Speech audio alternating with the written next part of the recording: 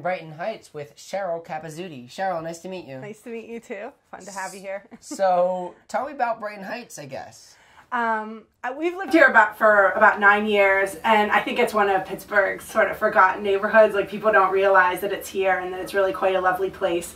Um, there's you know artists that live here, families that live here. There's a lot. There tends to be space, which is something that's really nice about it, and it has a community that's pretty active in making itself um, a nice place to be. Yeah, and so you have space, I guess, to like work with things and like studio space. Right, right. Yeah. I, we had looked um, actually all over the city to find a place that could accommodate my um, studio habits, which mm-hmm. are pretty big. I have about 200 giant puppets. So oh, so yeah. you make puppets? Yeah, I'm a puppet maker, cool. and I was looking for space. And we had actually lived in the East End, and I, our real estate agent, who is my mom, kept saying, "You ought to look in Brighton Heights." And we're like, "Nobody lives on the north side." And then we came and looked, and we're like oh, yeah, we'll move there. People, live there, yeah. People actually live there, yeah. and it's really nice. So. And now over 200 puppets are residents of Brighton, Brighton Heights. Heights. Yeah. yeah. so tell me how you got into puppets. Um, you know, after I graduated from college, I I met a puppet maker, uh-huh. and um, she encouraged. Uh, you know, I basically learned the craft from her and made a few puppets, and then I made a few more puppets. And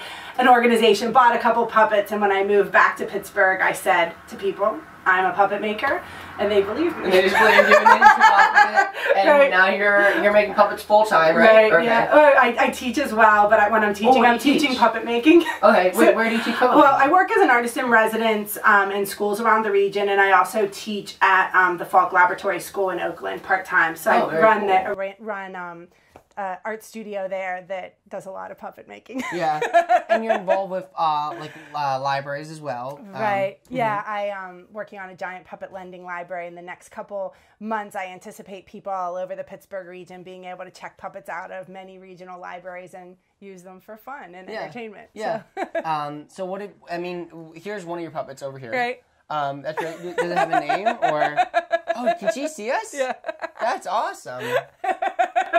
What inspired you? Yeah, what inspired you to make that that puppet? She's part of a set for New Year's Eve. She oh, um, cool. was a, a um, I, every year I make about a dozen new pieces for that for that show, and this one, that piece you just saw, is one of the ones that I made for which, that. Which show is it? Uh... Um, for the for the New Year's Eve parade, which I think of it as a big show. It's about um, two to three hundred puppets dancing down, down the street, and she was mm. one of a set of blue people that I made one year. Is this in this um, in this area? Or? It's not in this neighborhood. It's in downtown Pittsburgh, but okay. I do all the workshops here in Brighton Heights. Oh, cool. Or most of the workshops here in Brighton Heights. So, um, do is it mainly Brighton Heights residents who come to your workshops? Um, people from all over the city, but I always you know encourage my neighbors. And since I've moved here, a, a number of my friends have also moved to the neighborhood. So there's there's like a high density of puppet makers in Brighton Heights these days. Yeah. So. Wait, that like a, do you find like our, our puppets moving into the neighborhood and pushing other people out of the neighborhood? I wouldn't say pushing people out, yeah. but okay. you know they're definitely um, part of the scene here. Yeah. At, here in Brighton Puppet Heights. gentrification. Puppet gentrification. Yeah, right? happening. Yeah. Exactly. Once the puppets come in, yeah. Right. It. In fact, our for the Brighton Heights house tour, we have puppets out on the streets guiding people to see the different properties in our neighborhood. Really? Yeah, it's really fun. What are where where how does your puppets like? What are the range of puppets? Like, what kind of puppets? I'm sure there's like it's not just giant blue people puppets. I'm sure right. there's lots. It's cool... all imaginary creatures. Like mm-hmm. I don't mm-hmm. really make. I make very few things that people would describe as real. Uh-huh. Um, but I, I do also have series of you know polka dotted giraffes uh-huh. and giant elephants, dancing penguins. Um, uh-huh all kinds of things, you know, like oh, any kind of people, any yeah. kind of puppets you can imagine. What about material and stuff? Um, most of the pieces are paper mache uh-huh. and made and um, you know, fabric. For you know, my this person who sews my puppet suits lives a couple doors down, so oh, I have cool. a little seamstress in the neighborhood. A network of, of, people. Yeah, network yeah. of people that help to produce the puppets here in Brighton Heights. And friends too, and family. friends, I, you were telling that you uh, you found out that you were related to someone. Right, uh, Marilyn, who you just met a minute ago. Yeah. After who lives Caddy Corner um,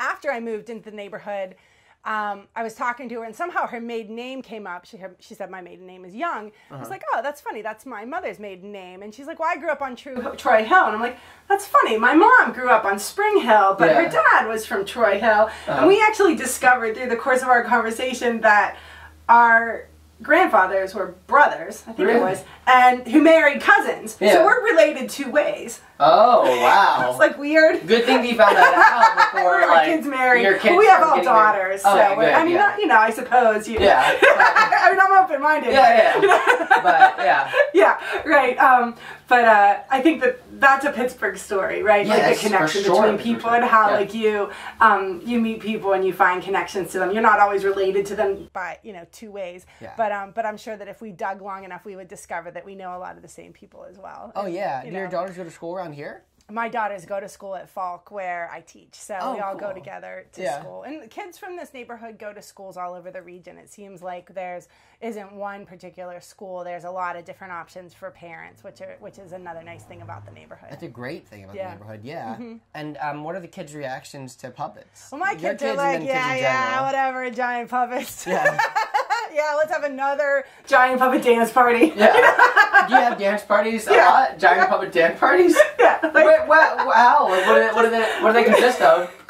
you know, like you set up a sound system in the backyard and invite people, 50 people over to dance Oh, and put on puppets. And, And the whole know, neighborhood can come by people and. come, yeah. Yeah, wow.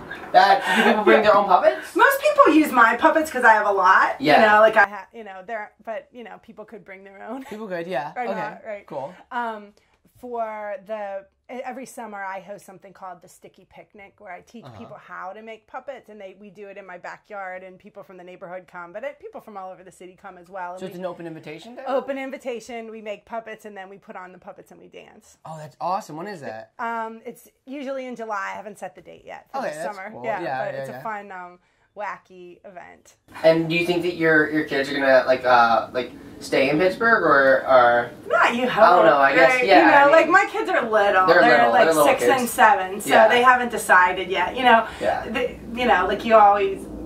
You, You want it. your yeah you want Yeah. it but you also want um, your kids to pursue their passion Oh, yeah. you know so hopefully they'll move in and move next door but you know well maybe not next door Yeah. but um but you you grew up here. I, guess. I, grew, I didn't Or- grow up in the city. I grew up way north of the city, actually. But I, um, I- you know, like I've been in, living in the city since my mid twenties and would never leave. So, Yeah, because Yeah. you like it and because it's a good place for puppets. right. I guess it's a also. fantastic place for puppets. Yeah. um, and then I guess um, tell me more about um, what you think this neighborhood's gonna be in uh, later. I mean. Right. You know, um, we see a lot of people moving into the neighborhood, like people that are invested in making it a nicer place. Um, my friend just bought a house, the one with the st- sign down there. A good friend of mine just bought that one, and Yeah. my goal is to get all my friends to move to Brighton Heights. And I'm, you know, I've gotten six friends to move here in That's- the last nine years. Yeah, that's a good That's a pretty good number. you Yeah, know. if you had one of those little cards, Right. like, the, the, like I'd be almost to my bonus friend. almost yeah, you get one free person that has to you forced to move here. I could pick anyone I want. Anyone I could you pick want, you. yeah, and then I have to live here. It doesn't matter. Great. It would be I great. just drop all my stuff. Yeah, no, I mean. I would like to live here too. It's I don't even think I would be. It wouldn't be a forced thing for me. Yeah. Yeah, yeah, it's a it's a great neighborhood, and Yeah. um, you know, I think that we want what every Pittsburgh neighborhood once, which is you know neighbors that look out for each other, um, people that take care of their properties and have a pride in um, the place, and of course, I like things to tip a little wacky. Yeah. you know, like I, I want to live in a neighborhood where odd things happen as well, like Absolutely. artistic things, and um, you know, when artists move in, it gets to be a little more fun for some people. I mean, Yeah. there might be people that don't think giant puppets are fun, but I think I think everybody thinks giant puppets are fun, unless you have like a fear of puppets. There's those people, yeah, Yeah, every now and then. yeah. So, but I, I say don't live on Termon Avenue. Yeah, if, you- if, if, if you have a fear of puppets. Right. Yeah. No, that's a that's a good that's a But good we'll thing. respect that fear. You know? Really? I mean, you know, like I, I tell my puppeteers if someone starts crying, turn your back and walk away. Yeah. Okay. That, I mean, that could be also kind of creepy if, I, if you turn your back all of a sudden.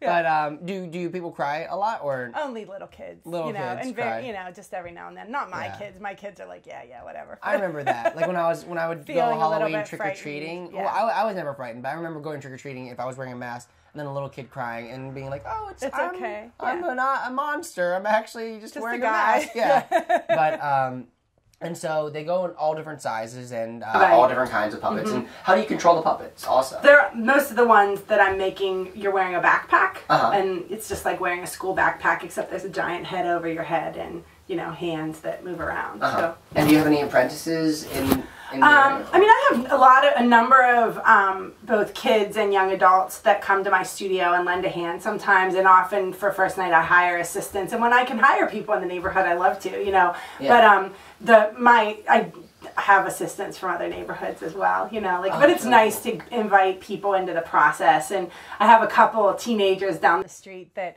when I need to do a puppet fitting to like check them, I just call them up and they'll come and put puppets on and dance around while I make sure the hems are the right length and that That's kind of stuff, which is fun. Yeah, Yeah. it's really good.